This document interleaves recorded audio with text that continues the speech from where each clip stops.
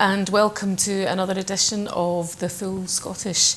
Uh, with me this week, I have Professor Kirstein Rummery, who is Professor of Social Policy at Stirling University and also the Scottish spokesperson of the Women's Equality Party. I also have uh, Kurt Bassuener, who is PhD candidate at the University of St Andrews and co-founder of the uh, Democratisation Policy Council. Welcome both of you thank and thank you. you. very much for joining me. So, what will we start with this week? Let me think.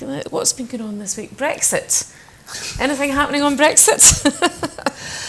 well, not enough happening on Brexit, it would appear, mm. as the clock ticks down and it's getting all very, very, very close. Um, I think it's really interesting the way the different political parties are responding to that pressure at the moment. Um, there does seem to be a bit of a lack of leadership from the main opposition uh, in terms of calling up its supporters to support the leadership, but without any clear um, vision for what their alternative Brexit strategy would be, or whether or not they would support a no deal, or all sorts of things going mm. on.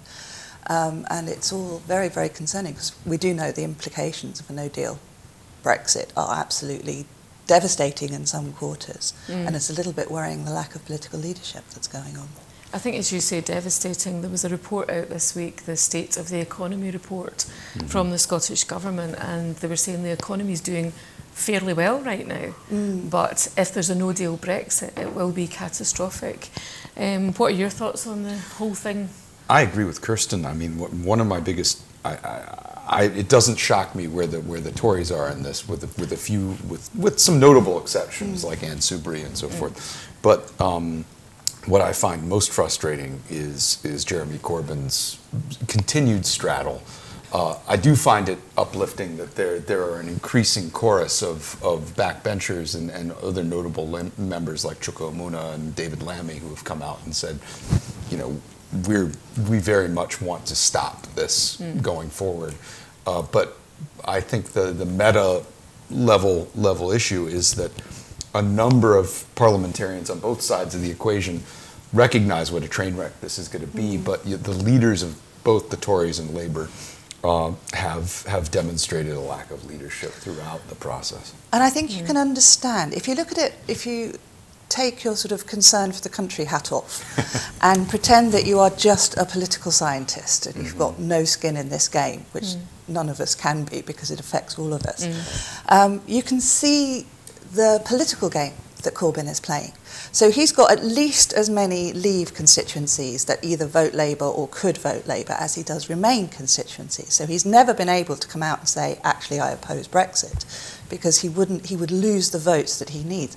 And of course, Labour Party, like the Tory Party, like all political parties, their main aim in the short to medium term is to get into power.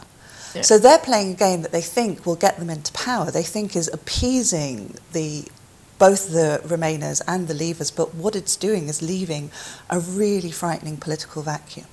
I mean, if it, it's not just the economic impact of no deal Brexit. If you look at all the stuff that's coming out about the impact on the NHS, medicines, the impact in my section, the higher education exactly. sector, mm. the research funding that we're already losing, the fact that free movement of people, you know, this has all been, Brexit has all been, right, we're going to end free movement of people. That means ending my movement into Europe, but yes. it also means ending really good researchers' movement into exactly. the higher education sector, which is why the higher education sector is vastly opposed to this. So you're saying that you're finding that that's happening already? It is happening already. So. I've got colleagues who, um, from the EU, who are uncertain about what's going to happen in the mm -hmm. future and therefore not renewing their contracts, going yeah. back to their home countries.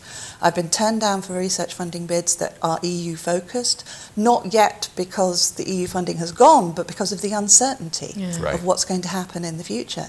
Now, we punch above our weight in our sector.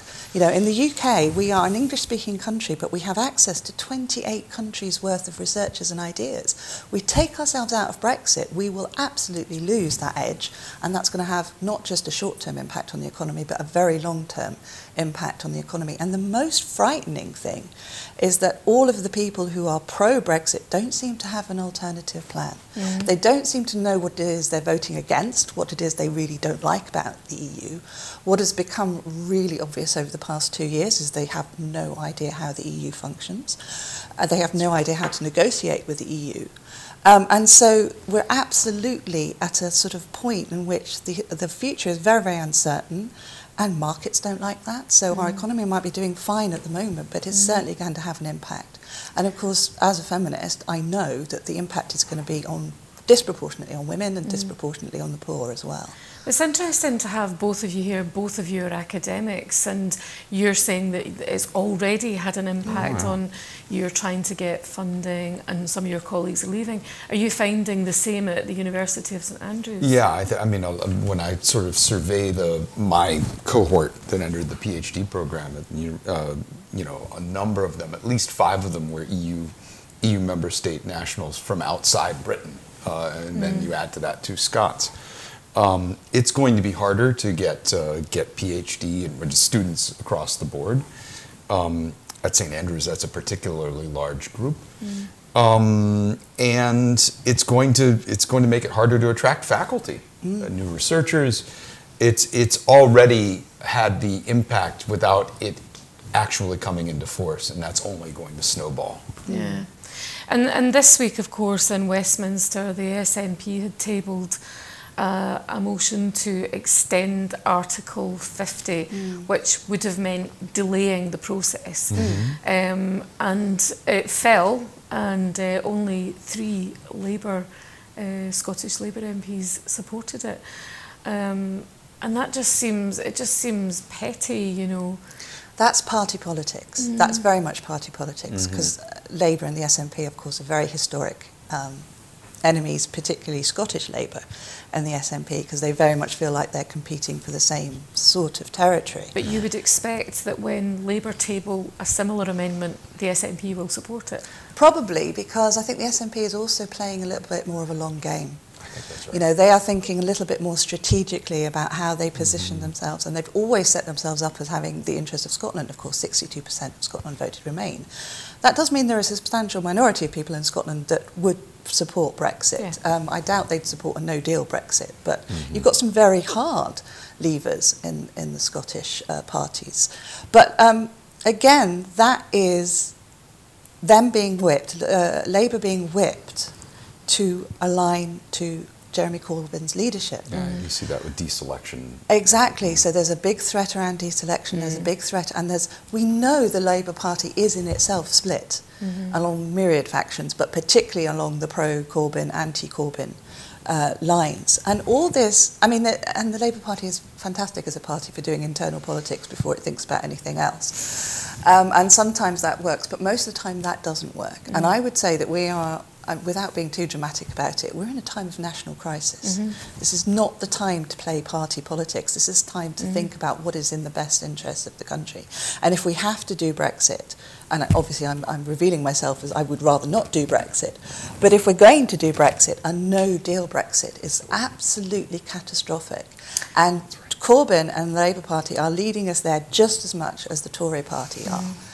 And they're both, I mean, I agree with Kurt, there's a complete lack of leadership there and a complete lack of strategic vision. I don't think either side, apart from the SNP, who've got quite a clear vision for where they're taking Scotland, none of the other political parties have a clear vision at all. And they're not communicating that to the electorate and they're certainly not communicating that to their parties. Yeah, probably because, as you say, they're, you know, they all have to straddle this thing where they've got They've got their pro-Brexit constituencies and their anti-Brexit constituencies. And yet there's evidence that if you show leadership and simply say, this is what we believe, these are our mm. values, uh, that people respect that even if they don't agree with you. But if you contrast it with the complexity, for example, of the Scottish referendum on independence, there were very clear lines And people, although, you know, um, and, and the SNP and the Greens historically took, us, took them from around 20% to 45%, and that was because they had a very, very clear message, and people could understand it, and it was a more positive message. Um, this, in contrast, we've had a, a, narrower margin at the beginning of the referendum, and I think it's absolutely even academics didn't really understand. Even people who had, you know, degrees in European law didn't really understand what it meant to leave mm. the EU. So I don't think the country really understood as a whole, either on the Remain or the Leave side, what they were voting for. But what has become increasingly um, clear is that they still don't seem to know what it is that they're mm-hmm. voting for. Mm. And the parties and, and the negotiate. I mean, how many Brexit secretaries have we had? Yeah. If you mm. had a com- if you were running a company company like that, it would have gone bust. So it's it's a it's a lack of strategy, and I do think. I mean, we go back to this. You know, this was to deal with internal factions fighting within the Tory party mm. and to stave off the electoral mm. threat coming from UKIP. And the entire country has been plunged into this mess because of Tory infighting. Um, so the fact, again, I come back to this, I don't blame the Tories necessarily for that, but I do blame that we, we've only seemed to have a credible opposition coming from the SNP, and that's not enough mm. for the whole of the country. Nope. Kurt, um, Kirsten said there that a lot of people still don't seem to know what it was they voted for, but it's becoming a wee bit clearer now, isn't it? Because this week we've had Fly BMI have mm. gone out of business. Um, uh, I think it was Airbus this morning, mm-hmm. we're saying again what we've all said that a no deal would be absolutely catastrophic. But there have been a number of developments, and then we've seen arch Brexiteer Jim Ratcliffe, the richest man in the UK, saying that he's leaving because he needs to go somewhere where he can save a bit more money on his tax. So do you think it's becoming a little bit clearer? Do you think that's going to accelerate now as we get closer? Well, I mean, the, the signs have been the signs have become clear over the past two and a half years, and a lot of this was predictable and predicted. Um, the the lag time between the vote in, in, June 2016 and now for this to show is is, is could have been could have been predicted to a certain extent, but it took a lot longer than many of us, certainly than I expected, for the this economic impact to show. Uh, but I think what we've we're seeing in both the Tories and in Labour and, and, and those who are, are for Brexit, and I think the honest answer is is is, is both Corbyn and McDonnell are, are for Brexit because of a, a, for lack of a better term, a socialism in one country mentality, which which doesn't appeal to me uh, or seem seem logical economically. Um, yeah, I don't think I think people voted on a, on a basis of of not rational thinking. Mm. It was it was a term that we, in Turkish is known as inat, which is basically it's usually translated as spite, but what it really means is this is going to hurt me, but it's going to hurt you more, and I'm going to delight in watching you suffer, and that's what got us Trump too, I think. Mm. But um, in that regard. I mean, if this were fought on, this were decided or discussed on a rational basis, uh, it would never have happened. And certainly, uh, the methodology of Brexit is not being discussed on a rational basis because anybody would be able to de- determine that Britain is not going to have the, the, trade leverage that, uh, that the Brexiteers purport. Mm-hmm. And that's already shown itself very clearly. Mm-hmm. So it's, it's, it's not a reasonable argument that's going on. Well, I mean, so let's move from one dysfunctional set of countries with dysfunctional leaders, your words, not mine, um, uh, to, to the strong leadership being shown in the United States of America by President Trump. I just heard a very deep sigh there, and I think it might have come from yourself, Kurt. Yeah. So, yeah. your thoughts on developments this week? Well, I mean, it's it's a reflection of weakness that he he did de- declare the state of emergency, that he was unable to get a majority of his own party to vote again for a government shutdown because it was such a disaster last time. Um, where he's engineered himself into a corner, uh, but the Republicans are going to pay a price too, is uh, he's declared this emergency, which means he's going to try to reprogram funds that were already allocated um, for, for other purposes. most likely, the biggest piggy bank is the defense budget, but also from emergency preparedness and response. Uh, and this is going to gore a lot of, of, of, oxes that belong to various constituencies in the country.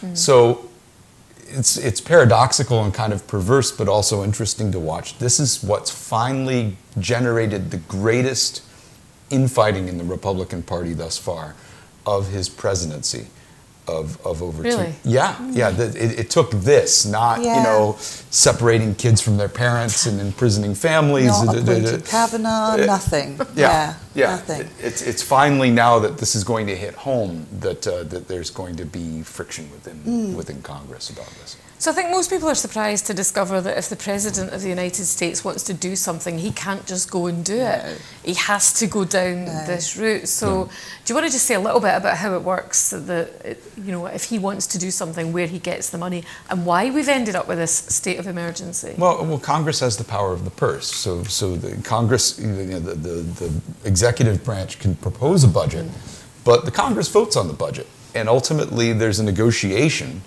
but uh, and if you and the president can veto something, but then it could be ultimately overridden by by the Congress. So the separation of powers really limits the president's ability to direct policy on on spending. And so that's why we ended up with the government shutdown because mm. the, the, the Democratic House of Representatives was opposing opposing his wall. Um, I think that this is what this opens up is a, a, challenge within our third branch of government, the judiciary, over this this spending. They're they're going to number California's filed already filed filed suit against the government for this. Uh, the House of Representatives is is, is also raising this. Uh, they're going to pursue this in the courts. President Trump already admits he's going to face legal challenges, and this probably will end up in the Supreme Court which he's hoping that his two his two new justices will help tip the balance for him. Uh, but it's going to be it's going to be a big argument because while there's great deference to the president on what constitutes a national emergency, he already sort of tipped his hand by saying, "I didn't have to do this." Yeah, and it's interesting that the way that it has been set up, of course, it was set up so that the president wasn't like a king, right. couldn't just come in and yeah. exercise um, authority like that. But of course, all the th- I mean, he has demonstrably lied consistently throughout his presidential term, um, but that doesn't seem to matter to his supporters, the people who got there, because he's a demagogue. He's a very passionate, charismatic individual, and he um, appeals to that. What this is really interesting in, the, in that it reveals is how, how little of a politician within the political ranks he is. So mm-hmm. he's, he's treating the government as he treated his own personal Trump empire as a business where mm-hmm. he is the CEO mm-hmm. and he can exactly. say and do what he wants to do. Mm. And that model probably does resonate with his supporters, but of course the government is very specifically set up so that that's not possible. Right. And I think when we look back in 10, 15 years' time at Trump's legacy, it will be his own party that actually be the, is the one that, that has the brakes on him mm. and, and hopefully from our perspective, from my particular perspective, because he's a very anti-feminist, um, leader and sends very worrying messages about women, etc. So that I'm, you know, I'm not ne neutral on Trump. No feminist is. Um, but it will be that political process mm. that ends up either curtailing him or bringing him down. It won't be the popular vote. When? How quickly?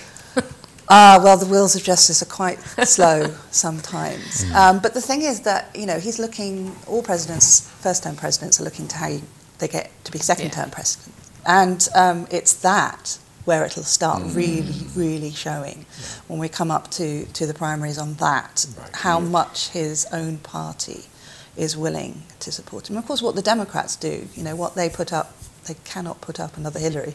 They absolutely cannot put up another Hillary.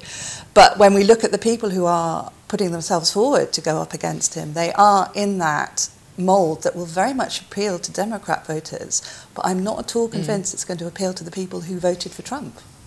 So, um, is it possible, though, that we won't have to wait for the Republicans to do as Kirstein said?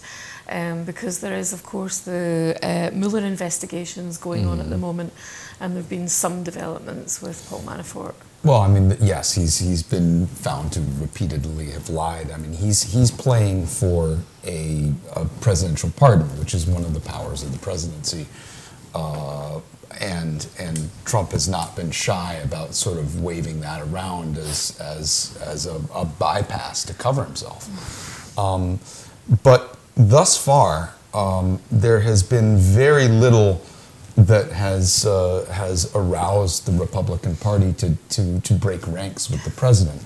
Um, now you do see some of this on Russia, on policy, on the policy side, of trying to limit his ability to uh, you know, to withdraw from NATO, for example, and such things. But when it comes down to will he pay a political price in the immediate term prior to the 2020 elections, will there be an impeachment effort? Um, impeachment starts in the House of Representatives, which the Democrats control, but it's voted upon in the Senate, which right. Republicans control. So, depending on what's revealed, I mean, theoretically it's possible, but it's very hard to be confident that it will rise to that level. Um, uh, given past practice over the past two years of the Republican yeah. Party, because uh, they're just too afraid of his base. Yeah. Yeah. Yeah. Well, we can live in hope. Um, yeah, inshallah. so, um, Shamima Begum now has been in the news this week. She was a 15 year old schoolgirl who went to join ISIS, um, is now 19, I think, mm, and right. she's in a refugee camp and she is nine months pregnant and wants to come home. What, uh, what, have you what are your thoughts on this, Kirstein? Well, it's interesting that we actually, as the public, have no idea what what prompted her to go out and join ISIS.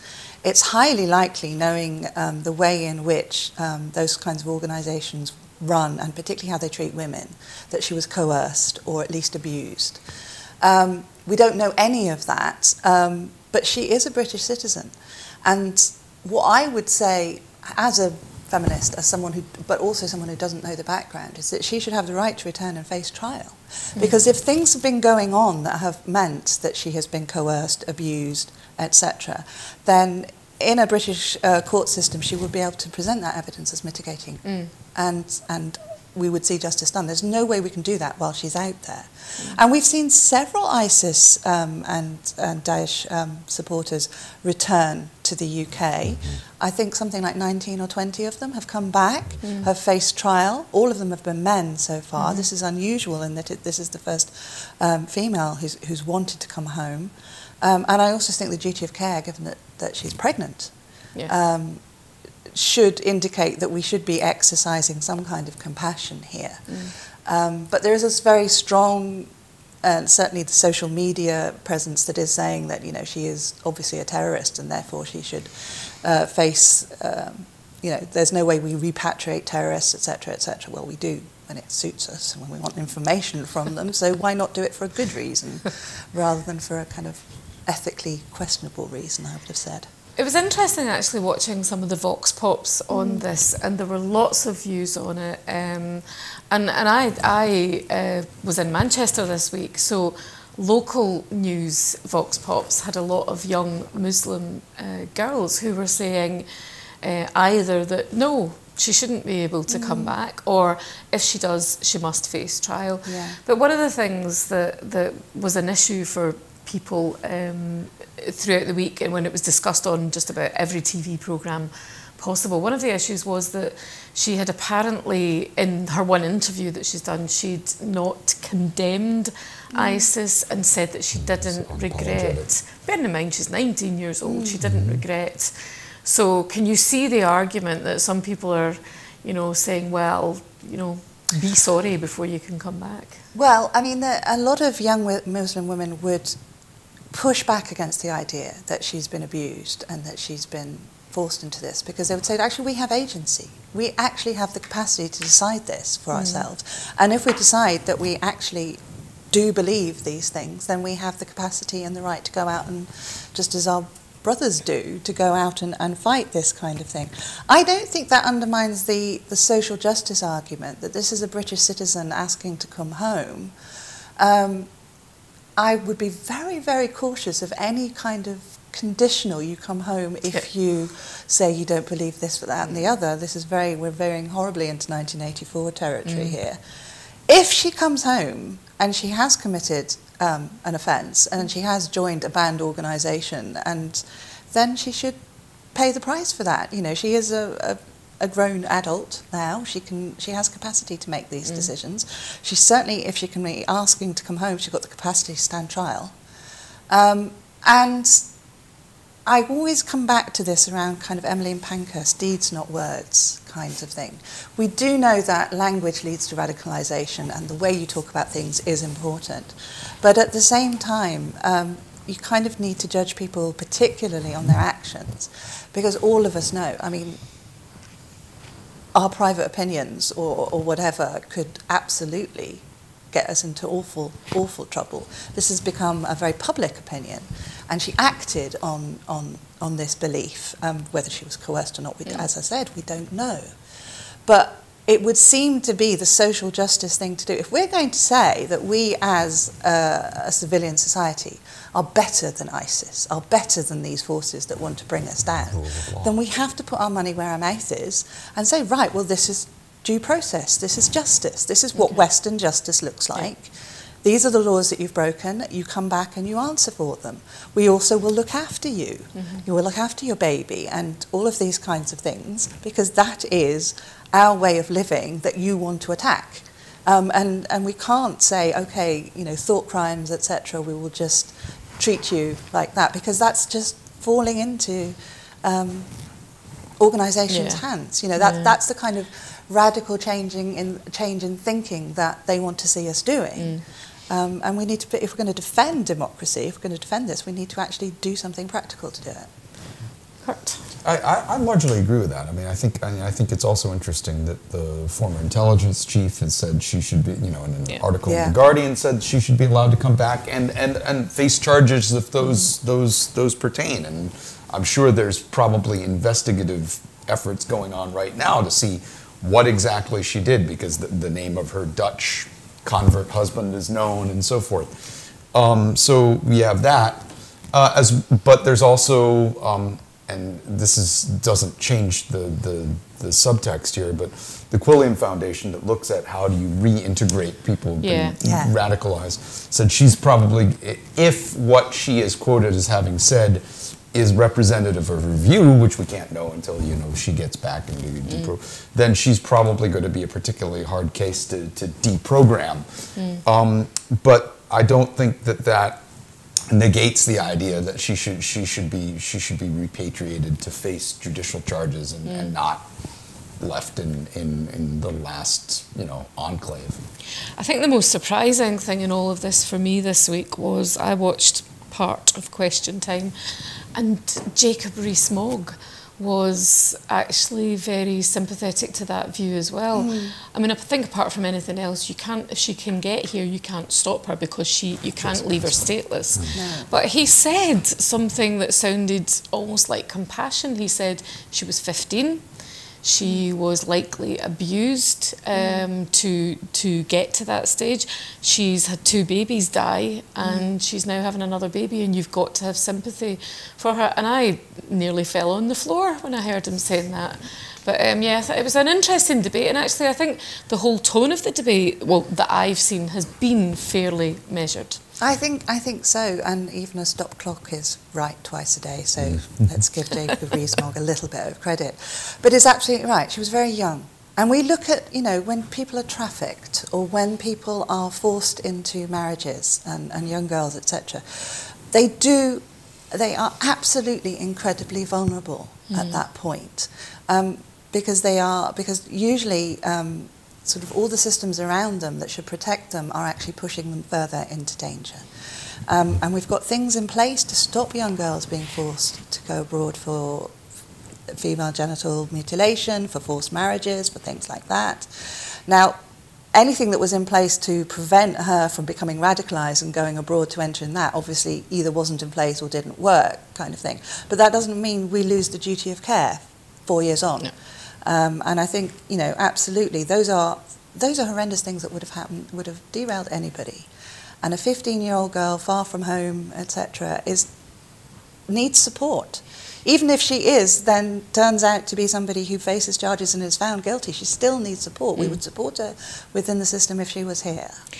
There were some other young people who were hitting the headlines this week, um, and that was the young school pupils who went out on strike to campaign for climate change to be taken more seriously more or less. Uh, but not everybody thought it was a, a positive thing. I shall, I'll, I shall read you the tweet from Christopher Hope, who uh, of the Daily Telegraph, and he said around 2,000 sixth formers who bunked off school have been protesting in Parliament Square. Bearing in mind these protests took place across the UK, yes. they've now wrecked the newly planted grass, and they are worried about climate change. What about the lawn? What about the lawn, what Kirstein? About the lawn. I hope he was clutching his pearls when he said that.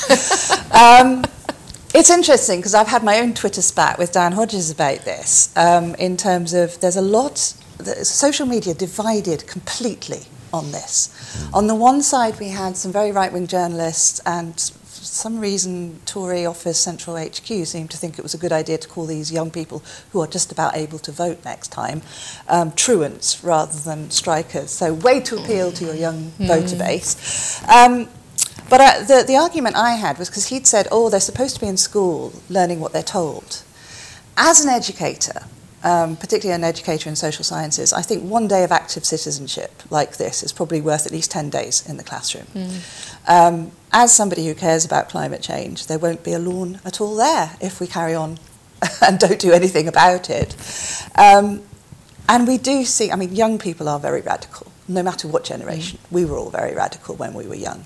And if you look at sort of the things that my generation were radical about when we were at school, it was also about climate change. Then it was acid rain, and that was the thing mm. that was going mm. to kill us all, or the whole hole in the ozone layer. And now it's climate change. But we were also very politically engaged. So it was my generation that marched on the Berlin Wall and brought it down. Huge, huge social and political change for Europe that came yeah. out of that. My generation and, and parents who, who were marching against the poll tax in the UK that mm. had a huge impact both on getting rid of the poll tax, but also being the first real um, attack that was actually successful politically in a civic way against the Tory government. I thought for a moment there, Kirstein, you said my parents' generation on the poll tax, and I thought, oh, that'll be me then. well, no, that was, I mean, the, the, poll tax was, was something that did cross, it wasn't just young people, that mm, was yeah. something that did uh, appeal to, to, but, you know, those young people will grow up and they'll get more conservative with a small c. Mm-hmm. Um, and that's what happened with mm. civic uh, engagement. But what was really, really um, exciting about this was that this was led by young people. You know, mm. this was led by um, Swedish young people who went out and started marching. And it's, you know, there was a fantastic march in Glasgow, as you said, it was all over the country. Um, and it was peaceful, uh, and it was um, there well, was peaceful until the police got involved. Peaceful until the police got involved, and, and there's always dubious things about that because you get headlines when the police get involved. You know, peaceful marches don't get media coverage, so I'm a little mm. bit. I'm going to take right. a step back from how that was kind of managed, kind of thing, you know. And the women's movement has always marched, mm. and um, hashtag Me Too marches. You know, yeah. I think you know, things like the Women's Movement's March and this particular uh, march probably will not have any great immediate impact on policies. But what it will demonstrate is to the people who took part in the march that there are other people that think like that. Mm. Mm-hmm. You know, that they got out of their classrooms, they got off their tablets and they went out and physically took part. Yeah. That is the important thing about growing a social movement. People need to feel yeah. that they are not alone, that there are other people that think like that. Yeah. And it was similar with the women's marches. You know, when we all when people were individually tweeting, oh, hashtag me too, but the deluge of women uh, that tweeted hashtag me too, and then the deluge of women that turned up to the anti-Trump marches and things like that, was a real sense of, and that's what's re-innovated the women's movement. Um, mm. It's that connection with other activists rather than the impact that it has on, on the mainstream political. Were, were you worried about the lawn at all? No, no, no. the, the thought I had to what Kirstein just said is, is now that the, the, the social civic activism has a manifestation in in practice politics. I mean, if you look at the Democratic presidential field, I don't know if they're majority women, but to my mind they are. Uh, and and you have a number of, of women who are elected to Congress for the first time, with reflecting a broader palette of diversity than we'd seen before. Mm. Uh, Native American elected. Um, it's I, I, think I think that this is having a resonance that will have a political impact. It already has a political impact. Um, and you know the, this young woman who went to you know the, the, the, Swedish high school student who went to went to Davos and, mm. and, and was met by the head of the IMF and and, and it's it's it had it's metastasized in a much broader way and I think it's going to to force a reflection on the issue which is going to be deeply uncomfortable for for a lot of people because as you as you extrapolate what kind of change this will mean uh, uh, across our economies politics, lifestyle, you know, financial world, it's going to be heavy if we if we want to be serious about dealing with mm. climate change. But we can't even begin to have a concrete discussion about it without forcing it onto the agenda. Mm. Mm.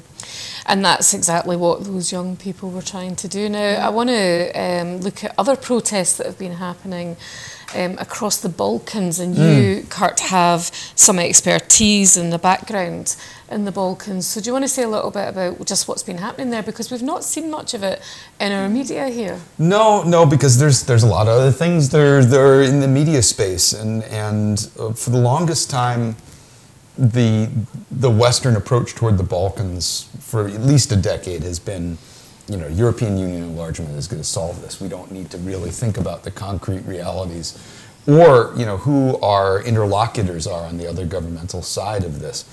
And uh, that has not worked. No. You have deep political, economic, organized crime nexuses running the shows pretty much across the board in the Western mm. Balkans. Uh, and now that the, there's there's starting to be popular resistance to that uh, against the unresponsiveness and unaccountability of governing elites. Um, this was reinforced during the during the migration crisis, where you you saw perverse alliances, for example, with with Nikola Gruevski, the former prime minister of Macedonia, who's now under political asylum in Hungary after being convicted for corruption by the new government. Um, that you know Sebastian Kurz, now Chancellor of Austria, you know went down to campaign for him. Mm-hmm. So you have you have these the place where it's most broad based in terms of, of, of coverage is in Serbia, uh, a very heavily centralized country. Uh, with very little local control, they don't even elect their mayors in Serbia directly, which is problematic. Really? No, no, and that's that's different even from Bosnia, where I lived for over a decade. So this is sort of thrown a wrench into the whole idea that you know the, the, the, European Union is going to deal with people like Alexander Vucic, the president of Serbia, who's who's trying to partition Kosovo now, and so there has been no real Western response, and these governments have been caught flat-footed because they don't mm. really have a response either, other than to say that these people are unpatriotic, which is you know the, the first refuge of scoundrels, and mm. not just the last one. Mm. And, and, and the, the other thing, it's not just the UK, it's the EU as well that have mm. not responded to it. But the other thing that they don't seem to have much to say about is what's happening in Spain at the moment mm. with the Catalonian politicians. Some of them have been imprisoned for two years and their trials started in the last week, mm. Kirstein.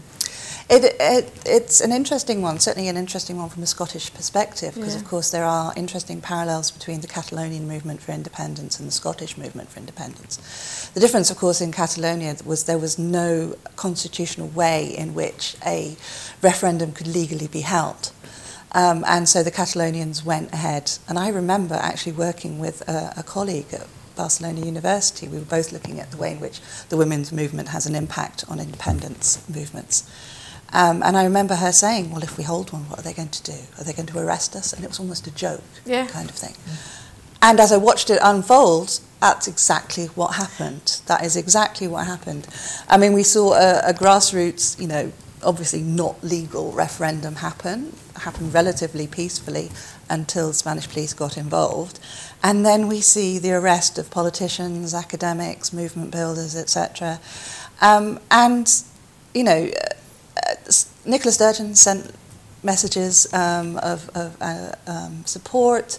Um, St Andrews, we've we've been mm-hmm. supporting, you know, and, and um, legally supporting somebody who um, would be nominally standing trial if she was out there, yeah. kind of thing. So so Scotland has been lovely in terms of that. Iceland, as well, has kind of recognised the, the Catalonian independence movement. But the EU as a whole has been remarkably silent.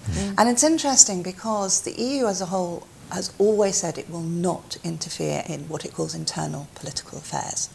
Um, it's, it's an economic and political cooperative union. It is not about, and the same, the United Nations also tries to make that distinction between internal political um, issues. But we are seeing, I think, quite almost civic rights abuses here, you know, the kind of right to a fair trial, etc., and all of those kind of things. Um, and the EU silence on that, if you are silent, then you are consenting and you are actually supporting the status quo. So they're supporting a quite a hard hitting regime in terms of the way. Now, there are lots of things that they could have done in Spain to manage the mm. Catalonian process, politically, ethically, etc. And they've chosen to be very kind of hardline about it. Mm. You would understand, though, that um, you know if the EU and like the UN, as you said, say we won't interfere in internal matters, but is is there a, a, a line that you just can't go beyond where you really must speak out? Well, I mean, I think I think the question is a, is a fundamental rights question. I mean, the, the, the, the, the most distressing part of this whole trajectory for me is that now you finally have, uh, as of June last year, a government in Spain under Prime Minister Sanchez who's who's demonstrated uh, quite a different attitude than the government that was in power when the, the Catalans uh, held their, their unconstitutional referendum. Uh, and uh, it's just the, the clock of, of, of this budget this budget discussion uh, and vote was coterminous with the beginning of the trial of these these 12, 12 people uh, who, who had held the referendum. And that forced the government to collapse. The likely result of this will be bringing in a far right party that is not represented in, in parliament now, Vox. For the longest time, Spain was sort of uh, seen as an anomaly in a good way that it did not have far right populism because they actually had fascism. And uh, that was considered a no go area. So this, this party has risen up in part because of the natural you know, nationalist on nationalist radicalization that you know Europe throughout Europe, particularly in the Balkans recently, but it's a commonality. Uh, these people need each other, and and Rajoy, when he was prime minister in Spain, helped feed what ultimately led to the, the Catalan independence referendum. I, I think that, that that you know that's a counterfactual. You can't you, you'd have to hop in a time machine to be able to determine you know what the co- what the course would have been otherwise. Yeah. But that's that that makes it very difficult. And and I think that given Brexit and given the rise of right wing populism i- throughout Europe, there's a, there's a sense we don't want to touch this with a 10 foot pole unless there's some real extreme violations of human rights. Mm. And as you see in Hungary and in Poland, you have member states that are in open contravention Yes. of European standards, Yeah. And there are no consequences. So I don't think this should be all that surprising. I think if we if we want to bring it back to the lessons we could learn from that within the Scottish context, um, there's a strong push at the moment between some arms of the of the independence movement for a unilateral declaration of independence or for uh, a referendum, etc. And that. I mean, the Catalonian experience shows what happens when you hold an illegal referendum or you attempt something like a unilateral. It would be an absolute disaster, and, and I don't think it would take Scotland with it. So uh, it would be that kind of thing as well. But also, another interesting parallel, of course, we've been talking about the rise of the far right. Um, and a lot of independence movements are categorized or, or, or sort of demonized by the mainstream as being far right movements, whereas Catalonia and Scotland, they're not. They're not ethnic. They're not, it's not an ethnic movement. It's a civil idea about independence and it's a civil idea about identity. And in fact, it's mostly left wing within Catalonia. And it was at that pushback against, as Kurt said, you know, long history of fascism, fascism in Spain that they didn't want, they saw signs of coming back and they really didn't want imposed on them. Uh, similarly, the, the Scottish movement for independence is much more a kind of civic nationalism. It's not a blood and Even soil so. type nationalism. It's not who you, you know, you live here and your clan kind of thing. There is a mm-hmm. small wing of it that is that, but that's blown out of all proportion. Yeah. It's mainly a civic nationalism, as mm-hmm. it is in Catalonia, and as it is in other independence movements throughout Europe that are not actually about ethnicity, about mm-hmm. blood and soil, but they're actually about a pushback against neoliberal governments and against the, the perception that we have all moved politically towards things like Brexit, towards things that are about national identity and a much more right wing discourse within mm-hmm. mainstream politics. Mm. Um, and that's much more kind of a, a complex political situation to be in. Yeah, and, uh, and although we're saying that you know there's been very few people, the EU haven't had much to say about Catalonia and what's happening there. There's been plenty of comments online, and what people seem to be saying is whether you support independence for Catalonia or not, you know this is not right. Hmm. And imagine it happened here. Now, what you've just said, hmm. we should say that there are two schools of thought on that. Some people think we should go ahead with an advisory hmm. referendum. But other people, you know, saying no, don't look what happened in Catalonia. But can you know? I think it would really bring it home if that, if we did and it happened here. It's unthinkable, and that's why we probably should be more shocked than we are at what's happening in Catalonia now. But I think this comes back to what Kirstein said about the long game that uh, I, uh, that, that the SNP, from my perspective, has been playing on, on the Brexit issue uh, and where it plays into the long-term agenda of Scottish independence. I mean, there were a number of people, uh, probably a deciding strand of your of your population, who, when they looked at the economics or whatever, on whatever basis, decided decided not with a great deal of passion to vote no. Uh, it's a different equation if you have a hard Brexit, and I It's think I think that different Yeah. equation. there are a lot of NHS Scottish nationalists uh, in that regard, uh, uh, civic of the civic variety, who are not for separation per se, but if they're going to be hived off from the European continent, Yeah. it's it's a very different argument. So I would differentiate um, that from I, I think I think you'd be turning into the fishtail. You'd actually be doubling down on on separating yourself from a lot of supportive opinion uh, on the European continent. If the goal of, of an independent Scotland, for those who espouse this, is to be integrated in in Europe, uh, that is going to burn a lot of bridges if, if that were the path to go down. Whereas if it's visited upon Scotland by London against popular will, you have a different. You're, you're looking at a different equation entirely. If you look at the people who voted no in, in 2014, um, apart from the people who would always have voted no, um, the ones that, that would have been to play for and ended up going for no, risk, was the big thing that turned them off the whole idea.